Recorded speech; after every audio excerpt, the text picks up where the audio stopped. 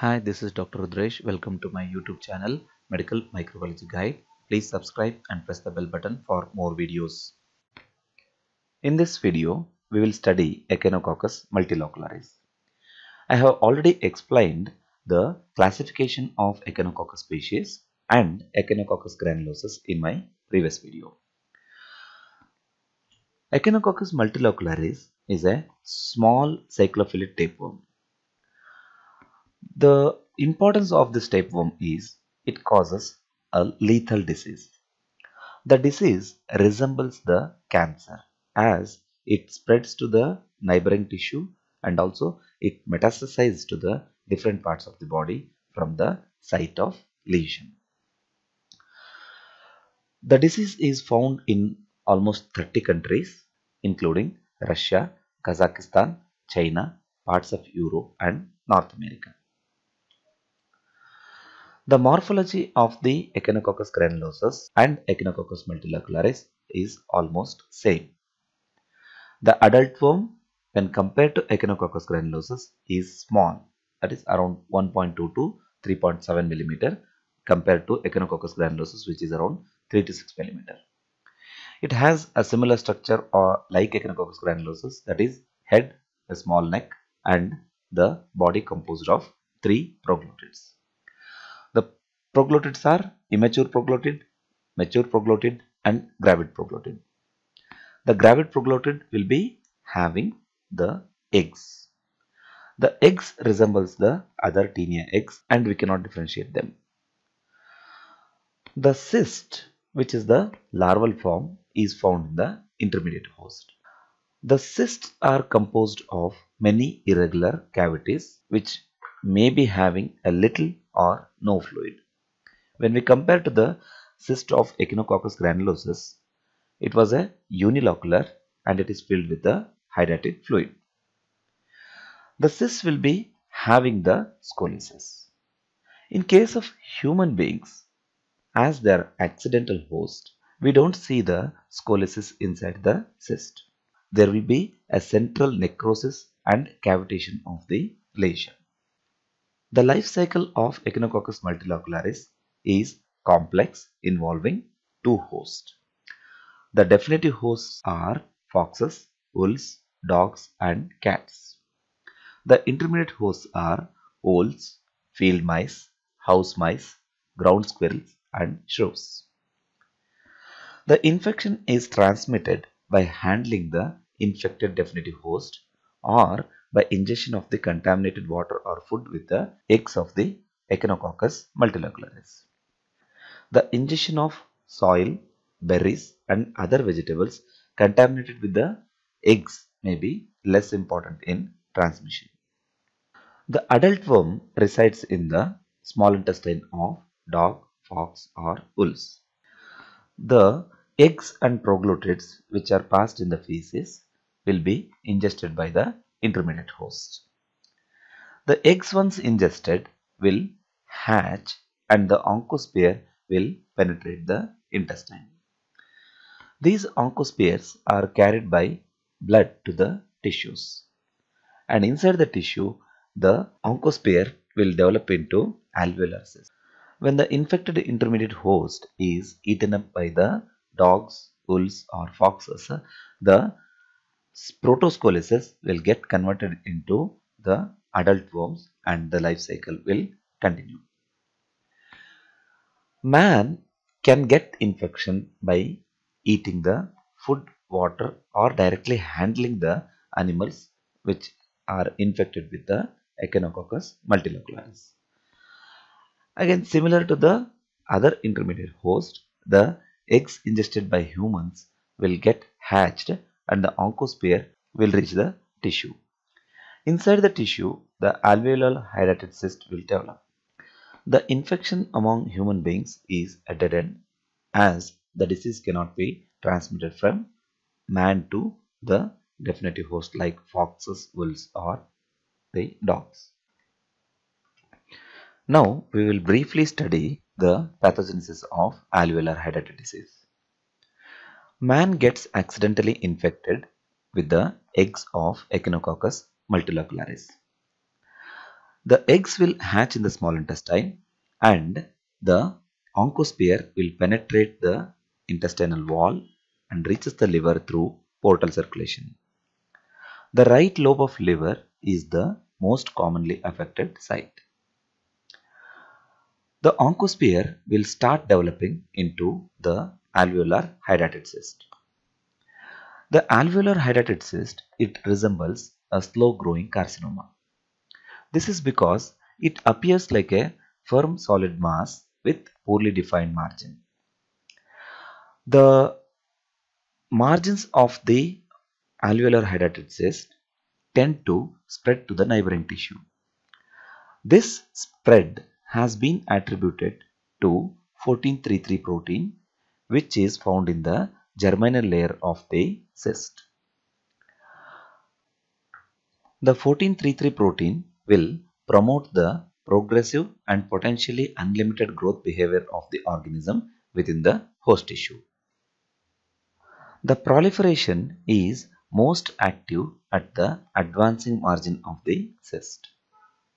The interior of the cyst will deteriorate and appears like necrotic abscess. In humans, the cyst will not be having any brood capsules, scolices and calcareous corpuscles. The bits of the cyst can be transported to the other parts of the body via lymphatic or hematogenous route. Hence, this almost resembles like a carcinoma but it is not a cancer as such. Now we'll see the clinical features. Infection usually occurs in the childhood but for the disease to manifest it takes around 20 to 30 years. The human disease can be divided into several stages. In the initial stage, the disease may get spontaneously cured or it may progress to the progressive stage. In progressive stage, the cyst will infiltrate into the neighboring tissue or it may metastasize into the different parts of the body going for an advanced stage. And advanced stage will be having a high mortality. Instead of the progressive stage, the disease can take a stable stage in which the parasite growth is inhibited or it may go for an abortive stage in which the parasite dies and the cyst get calcified. A patient presents with a abdominal distension, right upper abdominal pain with palpable mass. On examination, there may be hepatomegaly or splenomegaly. The mortality rate exceeds 90% if the patient is not treated. The diagnosis solely depend upon the clinical suspicion. When there is a strong clinical suspicion, the imaging techniques will provide a immediate clue to the diagnosis of disease.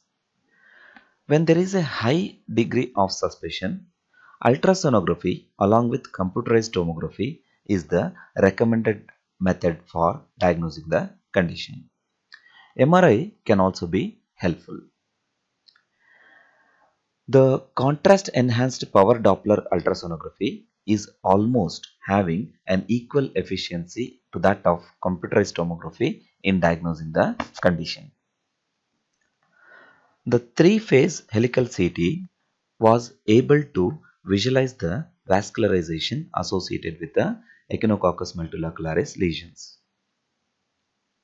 We can do the fine needle aspiration cytology and the smears will be stained with the May Grunwald Giemsa and periodic acid Schiff stains. The cytologic smears shows necrotic ground and PAS positive hyaline cuticular structures and mucoid globules. The tissue sections can be done on surgically excised specimens. These sections are stained with the hematoxylin and eosin with the periodic acid stain. The stained tissue sections shows homogeneous thin cystic structures of various dimensions which are strongly PAS positive. Wide coagulative necrosis can be seen in most of the cases and foreign body type of giant cells at the periphery of the lesions are seen in some of the cases. This is a picture which shows the diagram of the cyst from a intermediate host and the cyst from the human beings. You can clearly note there is an absence of scolices or brood capsule in case of the human lesions. The immunodiagnosis of alveolar hydatid disease is difficult. Unless there is a clear suspicion or there is a strong history, the immunodiagnosis is not of much use. The serological procedures which are used for diagnosis are sandwich ELISA which can distinguish the hydatid disease from the other cestodes. But the problem in sandwich ELISA is we are using a crude antigen which lack the sensitivity and specificity. And also the lack of standardization and inability to interpret and compare the results are the drawback of this sandwich ELISA. Now the latest ELISA technique using the metacestode glycolipid antigen EM2 is available which is having a fair good sensitivity and specificity. The ELISA results can be confirmed by immunostaining on thin layer chromatography.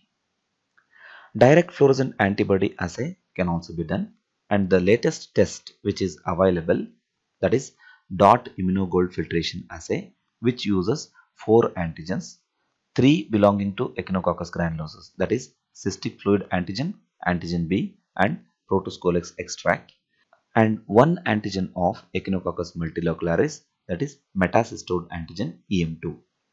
The sensitivity of the test is around 80% and specificity is around 93%.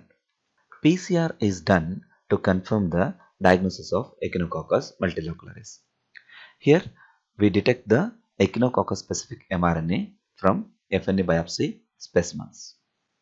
The diagnosis of infection among animals can be done by detecting the antigen in the stool by sandwich ELISA or doing PCR on the stool specimen. The treatment includes total surgical removal. But this is impossible as there is no capsule which was found in case of the hydatid cyst. In the early stages, the radical surgery may cure the disease, whereas in advanced stages, the effectiveness of the surgery drops. Chemotherapy has to be given following the surgery. Mebendazole and albendazole are the drugs of choice. We can combine interferon gamma with mebendazole which can halt the disease progression. Usually the prognosis is very grave. Prevention by educating the children, strict personal hygiene, avoiding direct or indirect contact with the dog or fox's feces and pet animals should be treated with praziquantel. Thank you for watching this video. Please subscribe and press the bell button for more videos.